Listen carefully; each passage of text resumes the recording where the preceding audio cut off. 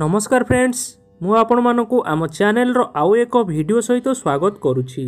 Friends ଏହି ଭିଡ଼ିଓରେ ଆଜି ଆମେ ଜାଣିବା ପବିତ୍ର ରଜ ସଂକ୍ରାନ୍ତି କାହିଁକି ପାଳନ କରାଯାଏ। ଭିଡ଼ିଓଟି ଆରମ୍ଭ କରିବା ପୂର୍ବରୁ ଆପଣମାନଙ୍କୁ ରଜ ସଂକ୍ରାନ୍ତିର ହାର୍ଦ୍ଦିକ ଶୁଭକାମନା। ଚାଲନ୍ତୁ ଜାଣିବା ରଜ ସଂକ୍ରାନ୍ତି କାହିଁକି ପାଳନ କରାଯାଏ। ଭିଡ଼ିଓଟି ଆରମ୍ଭ କରିବା ପୂର୍ବରୁ ଆପଣମାନଙ୍କୁ ରିକ୍ୱେଷ୍ଟ ଯଦି ଆପଣମାନେ ଆମ ଚ୍ୟାନେଲକୁ ଏପର୍ଯ୍ୟନ୍ତ ସବସ୍କ୍ରାଇବ୍ କରିନାହାନ୍ତି ତାହେଲେ ବର୍ତ୍ତମାନ ସବସ୍କ୍ରାଇବ୍ କରିନିଅନ୍ତୁ। ଆସନ୍ତୁ ଜାଣିବା। ଜ୍ୟେଷ୍ଠ ମାସର ଶେଷ ଦିନକୁ ପହିଲି ରଜ ଆଷାଢ଼ ମାସର ପ୍ରଥମ ଦିନକୁ ରଜ ସଂକ୍ରାନ୍ତି କୁହାଯାଇଥାଏ ଏବଂ ଆଷାଢ଼ ମାସର ଦ୍ୱିତୀୟ ଦିନକୁ ଭୂମି ଦହନ ଓ ତୃତୀୟ ଦିନକୁ ବସୁମତୀ ସ୍ନାନ ବୋଲି କୁହାଯାଇଥାଏ।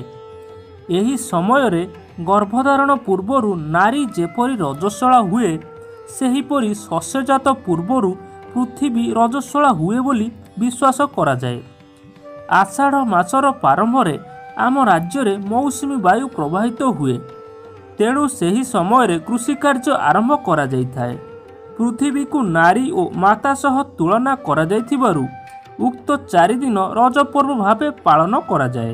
ବିଜ୍ଞାନ ମତରେ ବର୍ଷର ପ୍ରଥମ ବର୍ଷାରେ ମାଟି ଆର୍ଦ୍ର ଓ ବାୟୁ ଶୀତଳ ରହେ। ଏହି ପାଣିପାଗରେ ଥଣ୍ଡା ଧରିବା ମଧ୍ୟ ଭୟ ରହିଥାଏ। ତେଣୁ କିଶୋର କିଶୋରୀମାନେ ଓଦା ମାଟିରେ ନ ଚାଲି ଦୋଳି ଖେଳିବାର ପ୍ରଥା ସୃଷ୍ଟି ହୋଇଛି। ରଙ୍ଗୀନ ଲୁଗାର ଜୀବାଣୁ ନିରୋଧକ ଶକ୍ତି ରହିଥାଏ। ତେଣୁ ରଜ ସଂକ୍ରାନ୍ତି ବା ରଜ ପର୍ବରେ ବିଭିନ୍ନ ପ୍ରକାରର ରଙ୍ଗ ବେରଙ୍ଗର ନୂଆ ଲୁଗା ପିନ୍ଧାଯାଇଥାଏ ଘର ଚାରିପଟେ ଲିପାପୋଛା ମଧ୍ୟ କରାଯାଇଥାଏ। କାରଣ ଏହାଦ୍ୱାରା ଆମ ଘରର ପରିବେଶ ଶୁଦ୍ଧ ରହିବ। ଏହି ରଜ ସଂକ୍ରାନ୍ତି ସମୟରେ ଗ୍ରୀଷ୍ମ ଋତୁ ଶେଷ ହୋଇ ବର୍ଷା ଋତୁ ଆରମ୍ଭ ହୋଇଥାଏ। ଋତୁର ପରିବର୍ତ୍ତନ ସହ ଖାଦ୍ୟର ପରିବର୍ତ୍ତନ ନିତାନ୍ତ ଆବଶ୍ୟକ। ତେଣୁ ଏହି ସମୟରେ ବିଭିନ୍ନ ପ୍ରକାରର ପିଠାପଣା କରାଯାଇଥାଏ। ପିଠା ମଧ୍ୟରେ ପୋଡ଼ପିଠାକୁ ଅଧିକ ପ୍ରାଧାନ୍ୟ ଦିଆଯାଇଥାଏ। କାରଣ ପୋଡ଼ାଯାଇଥିବା ପିଠାରେ କେବେ ବି ରୋଗ ଜୀବାଣୁ ରହିପାରନ୍ତି ନାହିଁ। ଫ୍ରେଣ୍ଡସ୍ ରଜ ସଂକ୍ରାନ୍ତି ପାଳନ କରିବା ପଛରେ ଏହିସବୁ କାରଣ ଅଛି। ବନ୍ଧୁଗଣ ରଜ ହେଉଛି ଓଡ଼ିଶାର ବାର ମାସର ତେର ପର୍ବ ମଧ୍ୟରୁ ଅନ୍ୟତମ। ଏହି ପର୍ବକୁ ଓଡ଼ିଶାରେ ବହୁତ ଧୁମଧାମରେ ମଧ୍ୟ ପାଳନ କରାଯାଇଥାଏ।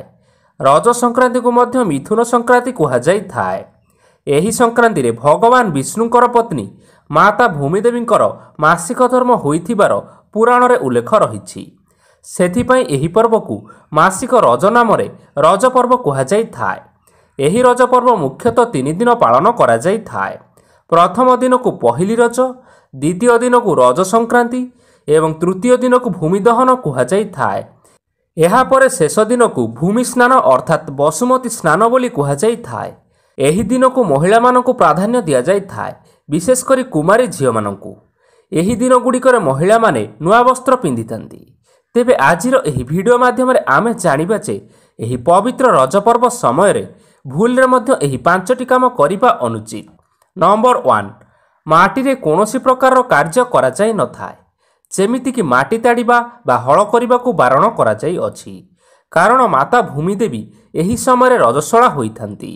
ତେଣୁ ଏହି ସମୟରେ ମାଟିରେ କୌଣସି କାର୍ଯ୍ୟ କରିବା ଦ୍ୱାରା ତାଙ୍କୁ କଷ୍ଟ ଅନୁଭବ ହୋଇଥାଏ।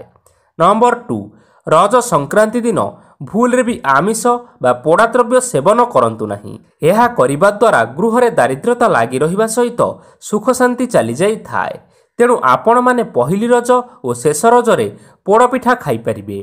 ନମ୍ବର ଥ୍ରୀ ମହିଳାମାନେ ରୋଷେଇ କରିବା ଅନୁଚିତ। କାରଣ ଏହା ମନାଯାଏ ଯେ ମାତା ଭୂମିଦେବୀ ଏହି ସମୟରେ ରଜବତୀ ହୋଇଥାନ୍ତି। ତେଣୁ ସବୁ ମହିଳାମାନେ ମଧ୍ୟ ସେହି ସବୁ ନୀତି ପାଳନ କରିବା ଉଚିତ ଯେଉଁ ନିୟମ ସେମାନଙ୍କର ମାସିକ ଧର୍ମ ସମୟରେ ପାଳନ କରାଯାଇଥାଏ ସେଥିପାଇଁ ମହିଳାମାନଙ୍କୁ ଏହି ପର୍ବ ସମୟରେ ଠାକୁର ପୂଜା ଓ ରୋଷେଇ କାର୍ଯ୍ୟ କରିବାକୁ ବାରଣ କରାଯାଇଅଛି ନମ୍ବର ଫୋର୍ ଏହି ସମୟରେ ମହିଳାମାନେ ରନ୍ଧା ଯାଇଥିବା ଖାଦ୍ୟ ଖାଇବା ଅନୁଚିତ। କାରଣ ରନ୍ଧା ଖାଦ୍ୟ ଖାଇଲେ ସେମାନଙ୍କର ଅମଙ୍ଗଳ ହୋଇଥାଏ। ତେଣୁ ଏହି ଦିନ ମହିଳାମାନେ କେବଳ ପିଠାପଣା ଆଦି ଖାଇପାରିବେ। ନମ୍ବର ଫାଇଭ୍ ମହିଳାମାନେ ଖାଲି ଗୋଡ଼ରେ ଭୂମି ଉପରେ ଚାଲିବା ଅନୁଚିତ। କାରଣ ମାତା ଭୂମିଦେବୀଙ୍କୁ କଷ୍ଟ ଅନୁଭବ ହୋଇଥାଏ। ତେଣୁ ବନ୍ଧୁଗଣ ଏହି ପବିତ୍ର ରଜ ପର୍ବ ସମୟରେ ଏହି ପାଞ୍ଚଟି କାମ କରିବା ଅନୁଚିତ? ଦୀର୍ଘ ପାଞ୍ଚଶହ ବର୍ଷ ପରେ ରଜ ସଂକ୍ରାନ୍ତିରେ ହେବାକୁ ଯାଉଛି ଗ୍ରହମାନଙ୍କର ମହାସଂଯୋଗ। ଏହି ସାତଟି ରାଶିର ଭାଗ୍ୟ ସୁନା ଭଳି ଚମକି ଉଠିବ। ରାଶିଚକ୍ରରେ ଗ୍ରହମାନଙ୍କର ସ୍ଥାନ ପରିବର୍ତ୍ତନ ଅନୁସାରେ ରାଶିମାନଙ୍କ ମଧ୍ୟରେ ପରିବର୍ତ୍ତନ ଦେଖିବାକୁ ମିଳିଥାଏ। ଜ୍ୟୋତିଷ ଶାସ୍ତ୍ରରେ ବାର ଗୋଟି ରାଶି ବିଷୟରେ ବର୍ଣ୍ଣନା କରାଯାଇଛି। ଯେତେବେଳେ ଏହି ଗ୍ରହ ଓ ନକ୍ଷତ୍ରମାନଙ୍କର ସ୍ଥିତିରେ ପରିବର୍ତ୍ତନ ଆସିଥାଏ ତେବେ ଏହାର ସକାରାତ୍ମକ ଏବଂ ନକାରାତ୍ମକ ପ୍ରଭାବ ଆପଣଙ୍କ ରାଶି ଉପରେ ପଡ଼ିଥାଏ।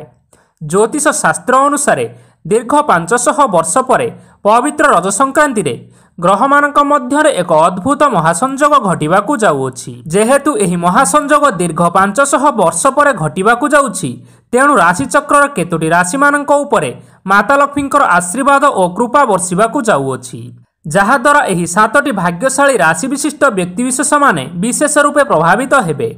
ତେବେ ଆଜିର ଏହି ଭିଡ଼ିଓ ମାଧ୍ୟମରେ ଆମେ ଜାଣିବା ଯେ ସେହି ସାତଟି ଭାଗ୍ୟଶାଳୀ ରାଶି ବିଶିଷ୍ଟ ବ୍ୟକ୍ତିବିଶେଷମାନଙ୍କ ବିଷୟରେ ଏହି ରାଶିର ଲୋକମାନଙ୍କ ପାଇଁ ରଜ ପର୍ବ ପରେ ଆସୁଥିବା ସମୟ ସ୍ୱର୍ଗଠାରୁ କମ୍ ହେବ ନାହିଁ।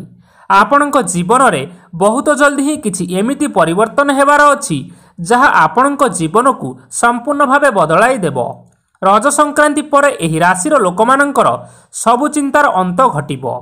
ଦୁର୍ଭାଗ୍ୟ ଏମାନଙ୍କର ପିଛା ଛାଡ଼ିବ ଏବଂ ସୌଭାଗ୍ୟ ଏମାନଙ୍କ ପାଖରେ ଆସି ପହଞ୍ଚିଯିବ।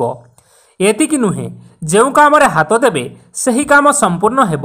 ଆପଣଙ୍କର ଅଚାନକ କୌଣସି କ୍ଷେତ୍ରରୁ ଧନଲାଭ ହେବ। ଆପଣଙ୍କର ଚାକିରି ଏବଂ ବ୍ୟବସାୟ କ୍ଷେତ୍ରରେ ଭାଗ୍ୟ ଆପଣଙ୍କ ପଟେ ରହିବ। ଆପଣଙ୍କୁ ନିଜର ପରିବାରର ଲୋକମାନଙ୍କ ଠାରୁ ଅଚାନକ ଧନପ୍ରାପ୍ତ ହେବ। ଏହି ରାଶିର ଲୋକମାନଙ୍କ ପାଇଁ ରଜ ସଂକ୍ରାନ୍ତି ପରେ ବହୁତ ଖୁସି ଆସିବାର ଅଛି। ଏହା ସହ ଆପଣମାନେ ଜଗି ରଖି କଥାବାର୍ତ୍ତା କରନ୍ତୁ। କାହା ସହିତ ଝଗଡ଼ା କରନ୍ତୁ ନାହିଁ। ନହେଲେ ଏହା ଆପଣଙ୍କ ପାଇଁ ବହୁତ ଅସୁବିଧା ହୋଇପାରେ। ତେବେ ଏହି ଭାଗ୍ୟଶାଳୀ ରାଶିମାନଙ୍କ ମଧ୍ୟରେ ପ୍ରଥମ ରାଶିଟି ହେଉଛି ସିଂହ ରାଶି ଦ୍ୱିତୀୟ ରାଶିଟି ହେଉଛି ମେଷ ରାଶି ତୃତୀୟ ରାଶିଟି ହେଉଛି ବୃଷ ରାଶି ଚତୁର୍ଥ ରାଶିଟି ହେଉଛି ବିଛା ରାଶି ପଞ୍ଚମ ରାଶିଟି ହେଉଛି କନ୍ୟା ରାଶି ଷଷ୍ଠ ରାଶିଟି ହେଉଛି ଧନୁ ରାଶି ଏବଂ ସପ୍ତମ ବା ଶେଷ ରାଶିଟି ହେଉଛି ମୀନ ରାଶି। ତେବେ ବନ୍ଧୁଗଣ ଆଶା କରୁଛୁ ଆମର ଏହି ଭିଡ଼ିଓଟି ଆପଣମାନଙ୍କର ପସନ୍ଦ ଆସିଥିବ? ପସନ୍ଦ ଆସିଥିଲେ ଏହି ଭିଡ଼ିଓକୁ ଗୋଟିଏ ଲାଇକ୍ କରିଦିଅନ୍ତୁ। ଏବଂ ଆପଣଙ୍କ ପ୍ରିୟଜନମାନଙ୍କ ସହିତ ସେୟାର କରିଦିଅନ୍ତୁ। ଧନ୍ୟବାଦ।